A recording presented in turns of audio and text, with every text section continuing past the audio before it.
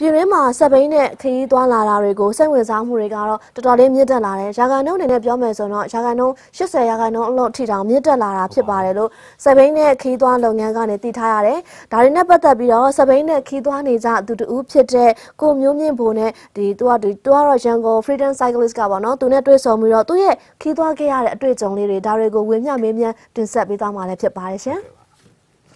ဟုတ်ကဲ့ပါအခုမင်္ဂလာပါရှင်မင်္ဂလာပါမင်္ဂလာပါဟုတ်ကဲ့ပါဟုတ်ကဲ့ပါဦးဆုံးအနေနဲ့အကိုစပိန်နဲ့ကီဝေးတွေတွားသွားတယ်လို့သိရတယ်ပေါ့နော်အခုနေဒီသွားတာရောဘယ်လောက်လောက်ကြာပြီလဲရှင်ကျွန်တော်ဒီစပိန်နဲ့ပထမဆုံးခီးစပြီးသွားတာတော့2006ပေါ့2006လေ2006ခုနှစ်ကနေစပြီးသွားတယ်အဲ့တော့ဒီမာစီဘိန်းလေးတွေပေါ့ဟုတ်ကဲ့ဟိုမိမစီဘိန်းလေးတွေနဲ့ပဲရှိတော့မိမစီဘိန်းလေးတွေနဲ့ပဲစပြီးသွားတာပါအာဟုတ်ကဲ့နောက်ပြီးတော့2008 2008မှာလည်းအဲ့လိုဆက်သွားတယ်ဒါခီးဝေးပေါ့နော်ဟုတ်ကဲ့ရှင်အဲ့နောက်ပိုင်းတော့နည်းနည်းလေးပြတ်သွားပြီးတော့ဒီ2016လောက်ရောက်ကြမှာ ဒီမောင်တိန်ဘိန်းနေနဲ့ကျွန်တော်ဒီတိုရင်းဘိန်းနေနဲ့စပြီးတော့ခီးတွေတောက်လျှောက်သွားတာပါဟုတ်ကဲ့ပါဟုတ်ကဲ့ပါကိုဒါပထမဆုံးအကိုရဲ့ပထမဆုံးစပိန်လေးနဲ့ခီးသွားခဲ့တဲ့အခါမှာတော့အကိုရဲ့အတွေ့အကြုံတွေပတ်သက်ပြီးတော့သိပါသေးခင်ဗျဟုတ်ကဲ့အဲ့တုန်းကတော့ဒီ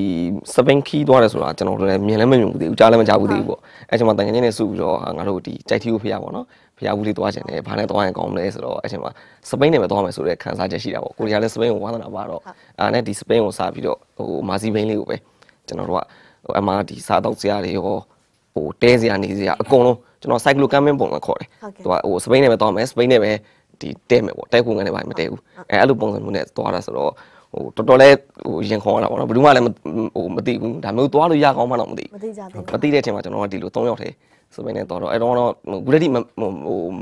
မမေ့နိုင်ဘူးပေါ့နော်အဲ့အဲ့တော့အဲ့ဒါကျတော့ပထမဆုံးခီးစဉ်ပေါ့ဟုတ်ကဲ့ဒါပထမဆုံးခီးစင်ပါဟုတ်ဟုတ်ကဲ့ကိုအဲ့ပထမဆုံးခီးစဉ်မှာအခုအနေနဲ့အာအတွေ့အကြုံလေးပေါ့နော်ဘာဖြစ်လို့စပိန်ကလည်းဒီရိုးရိုးစပိန်နဲ့ပဲသွားတာဆိုတော့စပိန်ပြင်တာပြင်ရတာတွေပြက်သွားတာတွေဘိန်းနဲ့ပတ်သက်ပြီးအဲ့လိုမျိုးလမ်းခီးပါပေါ့နော်နောက်ဆက်တွေရှိခဲ့သေးရှိလားတယ်ရှိတယ်ဟိုချင်းင်းတစ်ဖက်ပြုတ်သွားတယ်အော်ဒီစီကကျတော့နောက်ဒီကကျတော့ဘိန်းပေါက်တာပေါ့ဒါပေမဲ့ကျွန်တော်တို့အဲ့အတွက်ပတ်ဟိုပြင်းတဲ့တူးတွေပါတယ်အကုန်ယူသွားတာပါတယ်ဟုတ်ကဲ့ဟုတ်ကဲ့အခုအဲ့ဒါတော့အခုတက်နေထိုးပြီးတော့ပဲနေတာပေါ့လားဟုတ်တယ်ဒီကျွန်ကုတော်န်းတန်ထိုးပြီးတော့အဲ့တော့ကလည်းတန်ဟိုကြိုက်တီယိုဒီဝင်တဲ့အချိန်မှာကျွန်တော်ကညနေသွားတယ်နေသွားတော့မနက်ရောက်တော့ နည်းနည်းဘလူးကပြိုင်းလာတယ်ပြင်ပန်းလာတယ်အဲ့တော့အဲ့တန်တီယိုလမ်းပေးရဒီတော်လေးထဲမှာအဲ့ဒါမှကျွန်တော်ကတန်ထိုးပြီးတော့အမှစားပြီးနေတယ်ဟုတ်ကဲ့ပါဟုတ်ကဲ့ပါကိုပြောပြောစရာရင်တော့ဟုတ်ကဲ့ဟုတ်တယ်တန်းစီပြီးတတော့ကယ်သွားကြီးဖွင့်လိုက်လေးတော့ပြီးတော့ဟုတ်ကဲ့အခုနေပေါ့ဒီကြိုက်တီယိုပြင်ကိုဒီပြည့်ဘယ်ဒေသတွေများသွားသေးရပေါ့နည်းဝေးဝေးလေးဟုတ်ကဲ့ဟိုသွားတယ်ခင်ဗျကျွန်တော်ရန်ကုန်ကနေပြီးတော့ဒီခွာခွာတန်လွဲဟုတ်ကဲ့နောက်ပြီးတော့ဟိုငပလီထီပေါ့အော်အဲသွားတယ်နောက်တစ်ခါကျတော့ ဟိုကလောအောင်မန်းပဓာလင်းကူအော်အဝေးပဲဟုတ်ကဲ့နောက်ပြီးတော့ဒီစိတ်ဖြူနမတောင်ဟုတ်နမတောင်ထိအဲတောင်ထိပ်ထိကိုကျွန်တော်စပိန်ထိစပိန်နဲ့သွားတာပေါ့ဟုတ်ကဲ့ဟုတ်ဒီနောက်ဆုံးသွားခဲ့တာဆိုရင်ဒီဟိုပူတောင်ကနေပြီးတော့ကော့တောင်ထိအော်တလားကြာတယ်ဟုတ်တော့ရှောက်ဟိုတဲတလားလုံးဟုတ်ဟိုမိုင်းဆိုရင်2000ဒီပါပေါ့အော်မိုင်း2000ဒီပါကျွန်တော်နောက်ဆုံးသွားခဲ့တာလမ်းမောင်တို့တော့ချိန်ပေးရမှာနော်ကိုအပေးရတယ်ပေးရတယ်ခင်ဗျဟိုတနေ့ကိုကျွန်တော်ကစပိန်နင်းချိန်ကဟို10နာရီထက်ရှိတယ်အော်ဟိုအဲ့တစ်လျှောက်လုံးတစ်လားလုံးမှာကျွန်တော်လုံးဝ ဟိုနားတာကဟိုစပိန်ပြည်နဲ့နားတာတစ်ရက်ပဲရှိခဲ့တယ်အော်တောက်လျှောက်ကအဲ့စပိန်ဘုံမှာပဲအချိန်ကုန်တာပေါ့ဟုတ်ကဲ့ကိုဒါခုနောက်ဆိုကိုပြောခဲ့တယ်ကိုသွားတဲ့နေရာတွေအများကြီးပဲပေါ့နော်ဒီထဲမှာကိုစိတ်ဝင်စားဖြစ်ခဲ့တဲ့နေရာလေးများရှိမလားရှင်ဟိုရှိတယ်ခင်ဗျဟိုခီးစင်တိုင်းဟာတကယ်တကယ်တမ်းပြောရင်စပိန်ဟိုတော်တော်စိတ်ဝင်စားဖို့ကောင်းတယ်နောက်တော့လမ်းရဲ့ pre ရဲ့လို့ပဲပြောမလားတော့မသိဘူးတလန်းနဲ့တလန်းနဲ့မတူဘူးဟိုဒီပုံစံပဲဒီတောင်တက်ပဲလို့ထင်ပေမဲ့လည်း ဟိုတကယ်သွားတဲ့ချိန်ကျတော့သူ့ရဲ့ခံဟိုတကယ်ကြုံလို့ရတာတမျိုးမတူဘူးအဲ့တော့ဟိုတော်တော်လဲဟိုခီးတိုင်းအမှတ်တရဖြစ်နေတာပေါ့ဒါပေမဲ့စိတ်ဝင်စားဆုံးလို့ပြောရင်တော့ဒီကျွန်တော်တို့ဘူတောင်ကနေကော့တောင်သွားခဲ့တဲ့ဒီ snow to sea ဆိုပြီးတော့အဲ့ကောင်ဆိုင်နဲ့သွားခဲ့တဲ့ခီးစဉ်ကတော့စိတ်ဝင်စားဆုံးပေါ့ဘာလို့ဆိုတော့သူကဟိုရက်အရှိကြီးလေးဖြစ်တော့ကိုယ့်ကိုယ် set management အရင်ကောင်းအောင်လုပ်ရတယ်ဟုတ်ကဲ့ကိုဟိုနှစ်ရက်လောက်သွားပြီးတော့နားလိုက်လို့ရတဲ့ဟာမဟုတ်တဲ့ခါကျတော့နောက်ပြီးတော့လမ်းတစ်လျှောက်ကလည်းအန်ဆင်ကျွန်တော်တို့ကဘာမှမသိဟိုတချို့ပူတောင်နဲ့ဒီမြကြီးနားကြားလဲဆိုလုံးဝမသိတဲ့နေရာတွေ ဟုတ်ဟိုဘယ်လောက်ထိမသိလဲဆိုကျွန်တော်တချို့ဆိုရင်ပြောတယ်ဟိုရက်ကွက်အဲဒီတိုင်းရင်းသားတွေကပေါ့နော်ဟိုဘလူတွေစပိန်နဲ့သွားရင်ဘာဖြစ်တယ်တွေညာဖြစ်တယ်တွေဆိုတာတွေကြားတော့ကျွန်တော်တို့အများကြီးစေးဆိုင်ဖြစ်အောင်ပြင်ဆင်သွားရတယ်နောက်ဆုံးဟိုစားထုတ်တွေတော့တည်သွားတယ်။အော်ဆိုအဲ့နေရာမှာစားရှားရတယ်ဆိုပြီးတော့အာတကယ်တမ်းကျတော့ဟိုရောက်တော့စားရလဲပေါ်နေတာပေါ့နော်အဲ့လိုမျိုးတွေပေါ့ဟိုမျိုးစုံပါပဲကြုံနေရတယ်နောက်တော့ဟိုကော့တောင်းနဲ့ဒီပုံပြင်ကြားတဲ့လမ်းတွေဆိုရင်လည်းဟိုအတက်အဆင်းနေနဲ့ဆိုတော့လေ ဟိုတက်ကဂုံလေးကတော့မြေပေါ်မှာကြည့်သွားတော့တော့ပေ200လောက်ပဲရှိတာပေ200လောက်ဆိုတော့အာ AC ပဲဆိုတော့ဒါပေမဲ့အဲ့ဒီပေ200လောက်ကတမိုင်လောက်ထဲမှာ၄ကုန်းလောက်ဖြစ်နေတော့အော်အဲ့တော့တောက်လျှောက်ကအဲ့လိုမျိုးဟုတ်တက်နေရအဲ့တော့အမနဲ့လည်းဟိုနည်းနည်းဟိုဘယ်လိုပြောမလဲခံစားချက်တွေတစ်မျိုးပေါ့နော်ဟုတ်ကဲ့ဟုတ်ဘာလို့တောက်လျှောက်လာတယ်ဟိုပူတောက်ဘက်မှာဆိုလဲသူ့ရဲ့ဒီမြင်ရတဲ့ရှူခင်ကတစ်မျိုးဟုတ်ကဲ့အဲ့တော့ဒီမြန်မာနိုင်ငံအလဲပိုင်းရောက်လာတော့လဲတစ်မျိုးဟိုဘက်ဒီကန်အောင်နံပါတ်ဒီရောက်လာတော့လဲရှူခင်ကတစ်မျိုးဆိုတော့ရတာအစုံရတဲ့အပြင်ကို ကိုကိုတကယ် suspend နဲ့နောက်နှစ်ယောက်ထက်တော့တာပေါ့နော်ကျွန်တော်လည်းကိုဆိုင်ထုတ်ဆောင်မယ်ဆိုတော့ဟုတ်ကဲ့ဒီနှစ်ယောက်ထက်တော့တာဆိုတော့တော်တော်အဆင်ပြေတယ်နောက်ပြီးတော့အဲ့ဟိုအရင်တော့တော့မသိခဲ့ဘူးပေါ့နော်မြန်မာနိုင်ငံမှာစပိန်စီးတာတလောက်များတယ်ဆိုတာဘာလို့ဆိုတော့မြို့တိုင်းမြို့တိုင်းမြို့တိုင်းမှာစပိန်စီးအဖွဲ့တွေရှိတယ်ဟုတ်ကဲ့ကျွန်တော်တို့လာကြိုတာတွေလည်းရှိတယ် အဲ့လိုမျိုးတွေဆိုတော့ဟိုတော်တော်လေးပီတိဖြစ်ရတာပေါ့အများကြီးလဲစပိန်စီမိတ်ဆွေတွေလည်းတိုးလာတာတိုးလာတာပေါ့ဟုတ်သူကတော့အမှတ်တရဖြစ်ဆုံးပါပဲဟုတ်ကဲ့ကဲပါကိုအခုနေဒါအဖွဲလိုက်စီးပြီးတော့ခီးသွားတာဆိုတော့အခုနေဘယ်လောက်ဟိုဘယ်နှစ်ယောက်လောက်အများဆုံးအနေနဲ့လေအခုခီးသွားဖြစ်ပူလဲပေါ့ဟောပေါ့ရန်ကုန်ဟိုကျွန်တော်ခီးသွားတာဒေးရတန်လို့ဟာမျိုးသွားတာရှိတယ်ဒေးရတန်ဆိုတာတရက်ထဲသွားတာပေါ့ဟုတ်တယ်နောက်ပြီးတော့နောက်တစ်ခါကျတော့ဒီတညာအိတ်ခီးလောက်ပေါ့ဘာလို့ဆိုတော့ကျွန်တော်များသောအားဖြင့်ရုံသမားတွေများတော့ဟုတ်ကဲ့အဲ့တော့စနေတနင်္ဂနွေကိုချိန်သွားတယ်ရုံပရက်ကိုချိန်သွားတယ် နောက်တော့ဟိုရက်ရှိသွားတာလည်း9ရက်6ရက်ဥမာတင်ကြော့လို့တကြံလိုဟာမျိုးပြင်ရှိတယ်အဲ့တော့ဟိုဒေးရအတန်လို့ဟာမျိုးဆိုရင်တော့လူများတယ်50နဲ့100ချားလောက်ရှိတယ်လောက်ထိပါရှိဟုတ်ဒီတညာကြီးခီးလို့ဟာမျိုးဆိုရင်တော့အနည်းဆုံး30 40လောက်ရှိတာပေါ့အခုနောက်ဆုံးသွားခဲ့တဲ့တညာကြီးအဲတရက်ခီးတညာကြီးခီးတော့မှအယောက်30ကျော်ရှိတယ်ဟုတ် ဟိုအရန်ခီးရှင်ဝိုင်းတော့3ယောက်4ယောက်5ယောက်အဲ့လောက်ပဲအဲ့လောက်ပဲလိုက်တော့ဗောနော်ဟုတ်ကဲ့ပါဟာအခုအနေနဲ့ဒီစပိန်နဲ့သွားတဲ့နေရာမှာခီးစဉ်အစအဆုံးတောက်လျှောက်စပိန်ကိုပဲတုံးသွားတာဒါကားတုံးပြောရတဲ့ခီးစဉ်တွေရောရှိလားရှင်ရှိတယ်ခင်ဗျ။ဘာလို့လဲဆိုတော့ဟိုအစဆုံးသွားတဲ့ခီးစဉ်လည်းရှိတယ်။ဥပမာရက်အချိန်ရရင်ပေါ့ဟုတ်။ဟိုတကယ်လို့ရက်အချိန်မရဘူးဆိုရင်တော့ကျွန်တော်တို့က starting point ပေါ့။ဥပမာကျွန်တော်တို့နမတောင်သွားမယ်ဆိုရင်ကျွန်တော်တို့ကအချိန်ရတာ၄ရက်လောက်ပြရတယ်ဟုတ်ကဲ့ဟုတ်။အဲ့တော့ဒီကနေစိတ်ဖြူထီကိုကျွန်တော်တို့ကကားနဲ့သွားလိုက်သွားတလိုက်တယ်ဟုတ်စိတ်ဖြူကနေပြီးတော့နမတောင်ထိကျွန်တော်တို့စပိန်နဲ့တောက်လျှောက် သွားစိုက်ကလိုကမ်းမင်းပုံစံမျိုးပဲဘာလို့လဲဆိုတော့ကိုယ့်ကိုယ်ပဲတဲကိုယ့်ကိုယ်ပဲစားတခါကျကျွန်တော်မှကမ်းမင်းစတုတ်တွေပါအကုန်ပါတယ်ဟုတ်ကိုယ့်ကိုယ်ချက်ပြုတ်စားတာမျိုးပေါ့နောက်ဆုံးအဲ့လိုမျိုးတွေသွားတာပေါ့နောက်ပြီးတော့ပြန်လာပြီဆိုရင်လည်းကျွန်တော်တို့စောလောက်ထိပြန်လာဒီပြန်လာပြီးတော့မှ ရုံးချိန်ကိုတိုက်ပြီးတော့ကျွန်တော်တို့ကပြန်လာတာပေါ့ဟုတ်ကဲ့ဒါကြတော့ခီးအချိန်ပေါ်မှာရက်ပေါ်မှာရက်ပေါ်မှာမတည်ပြီးတော့ဟုတ်ကျွန်တော်တို့ကအတိုင်းပဲကြိုက်သွားတယ်ဘာလို့ကိုရီးယားဝေးလဲသွားချင်တာဟုတ်ဟုတ်ကဲ့ဒါလို့ဆိုတော့ဟုတ်ဟုတ်ကဲ့ကိုဟုတ်ကဲ့ပါကိုကိုကိုနေတယ်ဗောဒီစပိန်နဲ့သွားတယ်ဒီကျွန်တော်တို့ကားနဲ့ခီးသွားတယ်ဆိုတော့ရှင်ဘယ်လိုမျိုးကွာချရတယ် feeling ဗောနော်ခံစားချက်လေးဟိုပတ်သက်ဘယ်ပြီးလိုပြောမလဲ feeling ကတော့တခြားစီပဲဟိုကားနဲ့အခောက်တရားသွားပြီးတော့စပိန်နဲ့တစ်ခေါက်သွားရတယ်တော့မတူဘူးဟုတ်ကဲ့ဘာလို့ဟိုကျွန်တော်သွားဘူးလေလေကားနဲ့ဒီနေရာလေးဒါပေမဲ့အဲ့လောက်ဟိုရင်ထဲမှာအမှတ်မဲ့ရရှိမနေရှိခဲ့ဘူးအောင်နော်စပိန်နဲ့ကြတော့ဘယ်လိုပြောမလဲ ဟိုကိုယ့်ဘော်ပဲလုံးဝမူတည်နေတာဒီဟုတ်ကဲ့ကိုယ့်ရဲ့ခွန်အားနောက်ပြီးတော့အဲ့စပိန်စီးစင်တွေတစ်ခုသွားဖို့ဆိုတာကားနဲ့သွားဖို့ထက်ပို့ပြီးတော့ plan လုပ်ရဟုတ်ဟိုအစားစားရရအစီအစဉ်ရတာဟုတ်ပေါ့ကဲ့ဟိုလမ်းကြောင်းတွေအစားဘယ်နေရာမှာဘယ်လိုနားမလဲဘယ်လိုစားမလဲဒါတွေအစားစီစဉ်ပြီးကိုယ့်ခွန်အားနဲ့ကိုယ့်အောက်ကိုပဲတုံးပြီးသွားနေတာနောက်ပတ်ဝန်းကျင်လည်း safe ဖြစ်တယ်ကျွန်တော်ဘက်ကဘာမှဟို waste တစ်ခုမှမထွက်ဘူးမပေါ့ထုံးဟုတ်အဲဟိုလောင်စာနဲ့ပတ်သက်ပြီးတော့လည်းဘာမှမရှိဘူးနောက်တော့ကျွန်တော်စပိန်သမားတွေမှာဆိုလည်းအများနဲ့လိုက်နာတာတစ်ခုရှိတယ်ဘာလဲဆိုတော့ကိုယ့်အမိုက်ကိုယ်သိမ်းဟုတ်အဲဒါမျိုးပေါ့ပတ်ဝန်းကျင်လုံးဝမထိခဲ့တဲ့ဟာမျိုးလေး အဲ့တော့ဟိုစပိန်နဲ့သွားတဲ့အရာဒါတော့တော်တော်ကိုအဆင်ပြေတာပေါ့နော်တော်တော်ကောင်းတယ်ပေါ့ကဲပါဒါဆိုရင်ပတ်ဝန်းကျင်ထိန်းသိမ်းတဲ့ campaign လုပ်ပြီးသားဆိုအောင်ဖြစ်သွားသေးတယ်ကမ်မင်းလောက်တာဖြစ်တယ်ပေါ့ဟုတ်ကဲ့ awareness လည်းအကုန်ရသွားတော့ပေါ့ဟုတ်ပါနော်ဟိုအမြဲတမ်းလည်းဒါကိုပြောပြတယ်ဟိုအမိုက်ဆိုတာမပြစ်ဖို့လို့ဟုတ်ကဲ့ရှင်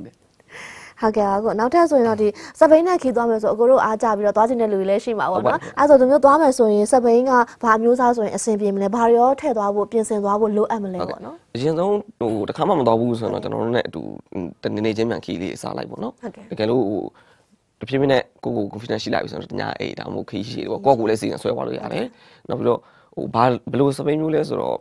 မြန်မာနိုင်ငံရဲ့ land တော်တော်များများအတွက်ကတော့ဒီ happy လို့ခေါ်တယ် mountain bike ပေါ့ဟုတ်ကဲ့အကောင်နဲ့လည်းတော်တော်အဆင်ပြေပါတယ်ဒါပေမဲ့ခီးသွားရင်တော့ခီးသွားတဲ့ touring bike ဆိုတော့တသက်ရှိတယ်ဟုတ်ကဲ့ဒါပေမဲ့ touring bike ကတော့ဟို frame တို့ဘာတို့ကအစတန် frame တို့လေးလေးလေးတဲ့ rigid လည်းဖြစ်တော့ဟိုဆဆချင်းဆိုရင်အကျင့်မရှိတဲ့လူဆိုရင်စီးဖို့အဆင်မပြေဘူးဒါပေမဲ့မြန်မာနိုင်ငံလမ်းဆိုရင်လည်း mountain bike တွေအကောင်ဆုံးပဲလောလောဆယ်မှာဟုတ်ကဲ့ဘာလို့တညားကြီးနှစ်ညားကြီးဟိုကျွန်တော်ဒီပူတော်ကောတောင်းတစ်လားလုံးသွားတာတော့ကျွန်တော် weight ကဟိုပါတာဆိုရင်ကီလို30လောက်ပါတယ်ဟုတ်ကဲ့အဲ့ဒါနဲ့တော့ကျွန်တော် mountain bike နဲ့ပဲကျွန်တော်အဆင်ပြေအောင်သွားခဲ့တာပေါ့ဟုတ်ကဲ့ ဟုတ်ကဲ့ပါကိုဒါကျွန်တော်တို့ပထမဆုံးစလိုက်မဲ့လူတွေနဲ့အနေနဲ့ဆိုရှင်ပေါ့နော်ကိုအနေနဲ့ဒီဟိုအခက်အခဲရှိနိုင်လားဘာလို့သူတို့ကတိတ်ပြီးတော့ training ပိုင်းမရှိဘူးလေ series ကမရှိဘူးရှင်ပထမဆုံးလိုက်ရခါမှာဆိုသူတို့တဲ့အဆင်ပြေမှုရှိနိုင်မလားနော်အဲ့ဒါပဲတက်ပြီးတော့လည်းပြပြပြပါဦးဟိုအဆင်ပြေတယ်ဘာလို့လဲဆိုတော့ကျွန်တော်တို့အဖွဲ့ကလည်းစီခီးသွားပြီဆိုရင်ကျွန်တော်တို့မှာခံယူချက်တစ်ခုရှိတယ်ဟုတ်ကဲ့ဟိုဘယ်သူမှဆိုမကြံခဲ့စေအောင်ဟုတ်ကဲ့ကျွန်တော်လည်းဟိုနောက်ဆုံးဟိုခီးသွားပြီဆိုလည်းအဲ့လိုပဲကြံခဲ့တဲ့မနေနိုင်တဲ့လူတွေရှိတယ်ဒါပေမဲ့ကျွန်တော်ဖေးမှပြီးတော့ဟုတ်ကဲ့အတူတူသွားသွားနေသူတို့လည်း motivate ပို့ဖြစ်လာတာပေါ့ဟိုကျွန်တော်လည်းစောင့်နေတဲ့ခါကျတော့အဲ့နောက်တော့ ဟိုကျွန်တော်လည်းအများနဲ့ပြောတယ်ဘောလုံးကွင်းကို၃ပတ်လောက်ဖြည်းဖြည်းလေးလမ်းလျှောက်နိုင်ရင်တော့အဲ့လူကစပိန်နဲ့မြန်မာနိုင်ငံတစ်ပတ်အေးဆေးပဲလို့ရစနစ်တကျနဲ့သွားမယ်ဆိုဟုတော့တ်ကဲ့ပေါ့ရှင်သူကအရင်ဆုံးစပိန်စီးတဲ့အတွက်သူ့မှာ risk ရှိတာတခုစသဖြစ်တာကဒီတင်မားတွေညာဟုတ်ကဲ့စပိန်ဖြစ်နိုင်ကုန်မှာမထိုင်နိုင်တဲ့ခါကျတော့ဟုတ်အဲ့ဒါရဲ့နောက်ပြီးတော့ဟိုအတင်းလိုက်ချင်တဲ့ခါကျတော့ဟိုသူများနင်းလို့လိုက်နေနဲ့မောသွားတတ်တာအဲ့တော့အဲ့လိုမဖြစ်အောင်ကျွန်တော်အစ်စ်ဆိုရင်ကျွန်တော်တက်တက်သွားပြီးတော့ဘေးနားနေပြီးတော့ cut လုပ်ပြီးတာပေါ့နော်နီးကအရန်လည်းမနှင်းဘူးကျွန်တော်တို့ကဟို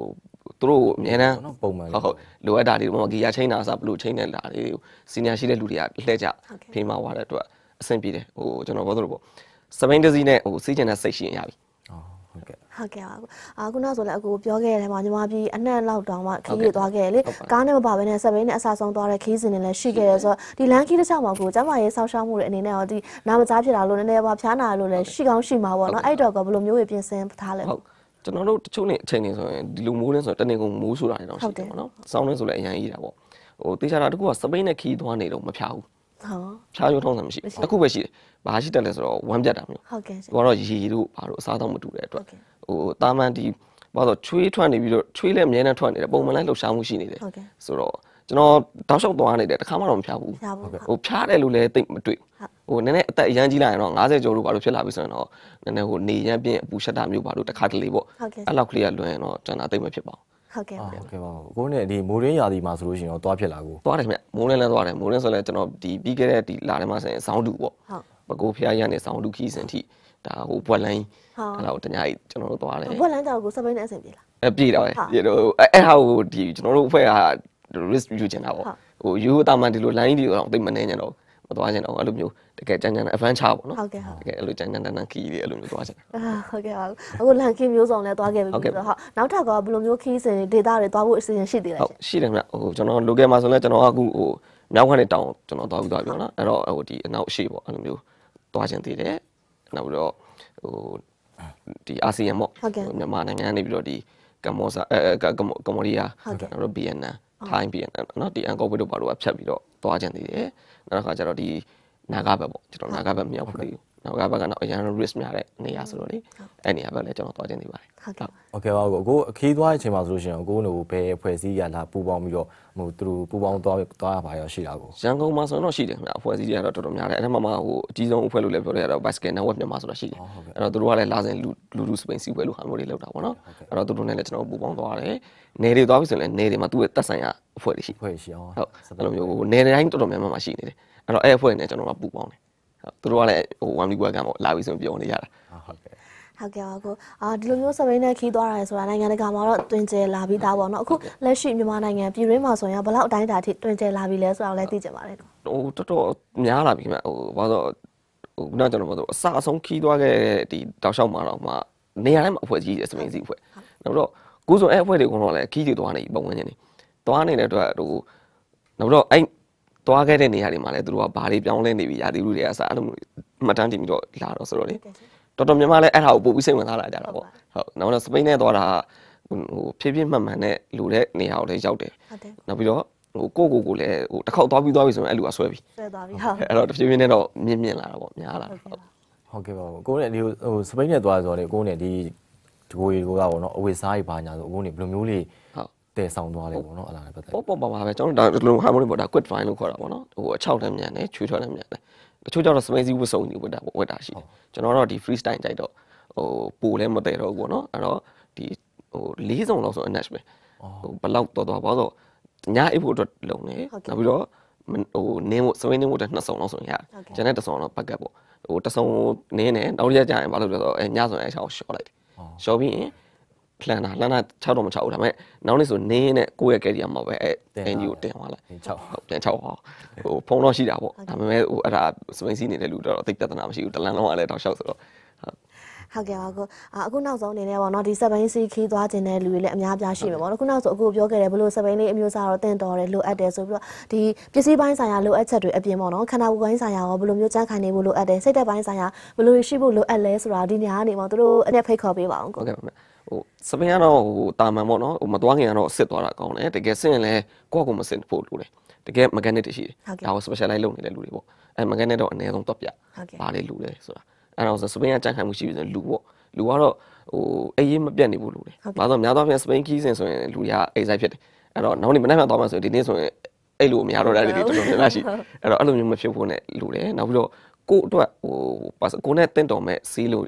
အနေပါလောက်ပဲဟုတ်စောကဲ့ရှင်ကျွန်တော်တော့တိတ်မလို့ဘူး။ဘာလို့ဆိုဟိုမြန်မာနိုင်ငံမှာဒီမိုင်90နဲ့ဝေးပြီးတော့စပိန်တော်ရရတဲ့လမ်းလေးပေါ့နော်ဟုတ်ကဲ့။မိုင်90ထပ်ပို့ပြီးတော့ရွာပြတ်သွားတဲ့နေရာမရှိမရှိဘူးဟုတ်။အဲ့တော့အဲ့လောက်ကြီးလဲစိုးရင်စရာမလိုဘူး။နောက်တော့စပိန်ကတော့ခုနကပြောတဲ့ mountain bike ဆိုရင်အဆင်ပြေတယ်ဟုတ်ကဲ့။ဒီလိုနောက်တော့ဟိုကိုနဲ့အတူသွားမဲ့လူပေါ့။ဟိုရင်ထဲကရင်းနှီးနေကိုလည်းလူတယ်။ဘာလို့ဆိုအဲ့လူကအတီကနှစ်ယောက်တည်းလည်းဖြစ်ရင်ဖြစ်မယ်တစ်ဖွဲ့လိုက်လည်းဖြစ်ရင်ဖြစ်မယ်ဖြစ်ဟုတ်အဲ့တော့အဲ့အချင်းချင်းမှဒီအဆင်မပြေရင်သူက ပြဿနာရှိတာဒါပေမဲ့စပိန်သမားအများစုကတော့ကျွန်တော်သိသလောက်ဟိုရန်ကူညီကြတယ်တယောက်နဲ့တယောက်နဲ့ဖေးမှကြတယ်အဲ့တော့ဟိုအများကြီးတော့သိစင်စားမနေပါနဲ့စီးကျင်နေဆိုရင်